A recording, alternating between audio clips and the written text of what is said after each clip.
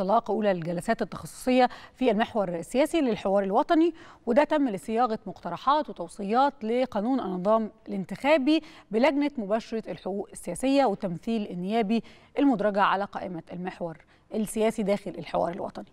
الجلسة ناقشت المقترحات والتوصيات اللي تم تقديمها حوالين موضوع النظام الانتخابي ما بين نظامي القائمة والقائمة المغلقة أو النسبية والنظام الفردي. وده لإعادة صياغتها بطرق أكثر دقة وأيضا طرق قابلة للتنفيذ تمهيدا لعرضها على مجلس أمناء الحوار الوطني وبعد كده رفعها إلى السيد الرئيس عبد الفتاح السيسي رئيس الجمهورية. خلينا نعرف تفاصيل أكتر عن اللي دار في هذه الجلسة وإيه هي أهم المقترحات اللي تم تقديمها عن النظام الانتخابي الجديد. مساء الخير على حضرتك الكاتب الصحفي جمال الكشكي عضو مجلس أمناء الحوار الوطني. أهلا بحضرتك معنا في التاسعة ولو تطلعنا على أهم ما دار داخل الجلسة اليوم وأهم المقترحات اللي تم التوصل إليها حتى الآن حول النظام الانتخابي. مساء الخير على حضرتك وعلى السادة المشاهدين. خلينا نقول إنه يعني الجلسات المصغرة في البداية نعرف هي ما هي الجلسات المصغرة وأهميتها إيه. الجلسات المصغرة هدفها يعني صياغة ما تم التوصل إليه وما تم من نقاش خلال الجلسات العامة. لأنه الجلسات العامة في كل جلسة بنستمع ليه حوالي 60 متحدث من مختلف الأحزاب والتيارات الوطنية والخبراء والمتخصصين والمواطنين. وبالتالي كل هذا النقاش وما دار وما يدور خلال 48 جلسة في 60 قضية حتى هذه اللحظة يحتاج إلى المرحلة النهائية وهي الثمار التي ينتظرها المواطن من مبادرة مبادرة الحوار الوطني. وبالتالي هذه الثمار تحتاج إلى رأى مجلس الأمناء أنه لابد من تشكيل لجنة مصغرة اسمها لجنة لجنة إعداد وصياغة المخرجات والنتائج. م. وهذه اللجنة بيكون فيها من 10 ل 15 شخصية من المتخصصين. و و وتراعي في المقام الأول التمثيل يعني توازن التمثيل السياسي لكافة أطياف.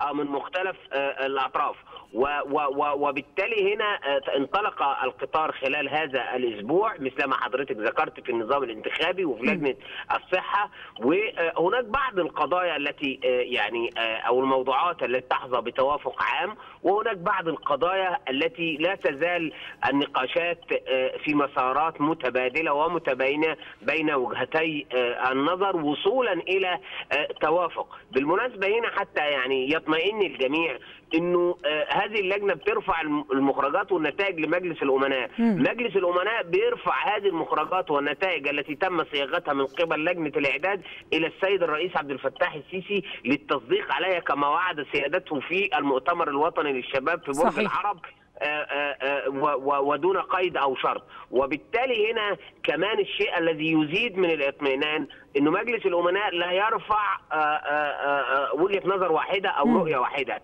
من الممكن أن أن يرفع إلى السيد الرئيس وجهتي نظر مختلفتين أو رؤيتين مختلفتين. وهنا يعني يكون التقدير السياسي لمؤسسات الدولة. إذا كان يتعلق بالتشريع فهو في يتولى السيد الرئيس إحالته إلى مجلس النواب. وإذا كانت قرارات فالسيد الرئيس يصدق عليها مباشرة طالما أنها في حدود صلاحيات أستاذ جمال هل الحديث هنا عن النظام الانتخابي؟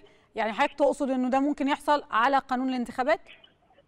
إحنا ممكن يحصل في اي قضية من القضايا. لدينا 113 قضية. بنناقشهم انتهينا من 60 قضية. وبالتالي إحنا بنتكلم حوالي 60% أيضا. وبالتالي هنا في قضايا حصلت بتوافق عام. هي لوحدها حصلت بتوافق عام. لما نتكلم عن قانون تداول حرية حرية تداول المعلومات أو نتكلم عن قانون الوصاية أو نتكلم عن قانون الاحوال الشخصية أو نتكلم عن قانون قوانين تتعلق بالصحة أو تتع... أو قرارات أو نتحدث نحدث بقضايا مثل مكافحة التمييز أو العنف الأسري والتماسك المجتمعي.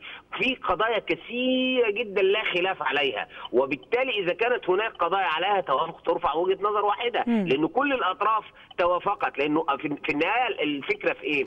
إنه لابد من الوصول إلى وجهات نظر وآراء تتفق مع تطبيقها في الواقع. مع الدستور و و والقانون لا تصطدم بعقبات مستقبلية. صحيح. وبالتالي على طاولة النقاش بتطرح ال- المبررات والأسباب والحيثيات وتستمع للرأي والرأي الآخر. وبالتالي هنا آه، آه، بالعلم وبالمنطق وبوجهات النظر وبالمعلومة آه، تستطيع أن تخلق المساحات المشتركة وهي شعار الحوار الوطني.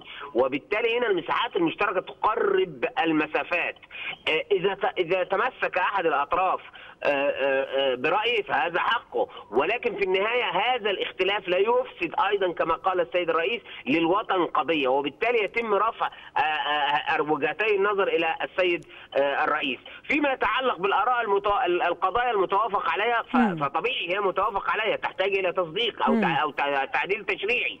و... وبالتالي هنا أهمية هذا اللجان في هذا التوقيت أنه آه، يعني أن هناك ثمار قريبة آه، سيجنيها المواطن وسيجنيها المجتمع من الحوار الوطني ومن الجلسات اللافت أيضا والمهم إن أنا أذكر بيه حضرتك إنه آه، الحوار الوطني آه، آه، سي يعني آه، سيستأنف جلساته اليوم الأحد المقبل في ال- الثلاث محاور المحور. السياسي وهنستكمل يعني قانون مباشره الحقوق السياسيه هاخد جلسة على سبيل المثال.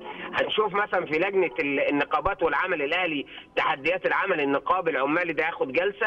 لجنة المحليات هنستكمل وده أمر مهم جدا لاستكمال مناقشة قانون الإدارة المحلية. ده نظرا لأهميته هياخد جلستين. ده بالنسبة للمحور السياسي. بالنسبة بالنسبة للمحور أستاذ أستاذ جمال قبل ما ننتقل من المحور السياسي وإحنا النهارده بنتحدث عن النظام آه، الانتخابي هل هناك أوراق أو توصيات خرجتم بيها النهارده؟ لأن حضرتك بتقولي الحد الجاي هيكون في جلسة لمناقشة قانون آه، مباشرة الحقوق السياسية. اذا أعتقد إن ده مبني على جلسة النهارده. هناك فرق بين يعني يعني ال- ال- الجلسات المصغرة مستمرة وقائمة والجلسات العامة آه، مستمرة أيضا وقائمة.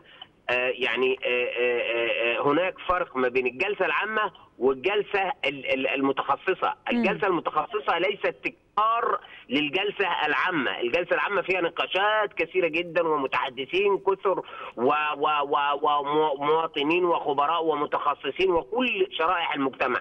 الجلسة المتخصصة زي ما قلت لحضرتك من 10 ل 15 شخص بيهم بيبقى الأمين المقرر العام اللجنة مقرر مساعد أعضاء مجلس الأمناء من يريد أن يحضر منهم آه، متخصصين في القضية نفسها. وبالتالي تكون النطاق ده هذا لا يتعارض مع الجلسة العامة صحيح. بل دائما الجلسات العامة تضيء المصابيح أمام القائمين على الجلسات ال- المتخصصة وبالتالي هنا ليس هناك تعارض لأنه كمان في توجه داخل مجلس الأمناء إنه يكون ال- العمل بالجلسات العامة أسبوع وبالجلسات المتخصصة أسبوع حتى نستطيع إنجاز أكبر قدر ممكن من التوصيات والنتائج ويتم رفعها إلى السيد الرئيس عبد الفتاح. صحيح ويمكن ده آه، يعني الهدف من الحوار الوطني الوصول لمساحات مشتركة ما بين الجميع برؤى وأفكار جديدة تنفذ على أرض الواقع. أنا بشكر حضرتك شكرا جزيلا الكاتب الصحفي جمال الكشكي عضو مجلس أمناء الحوار الوطني.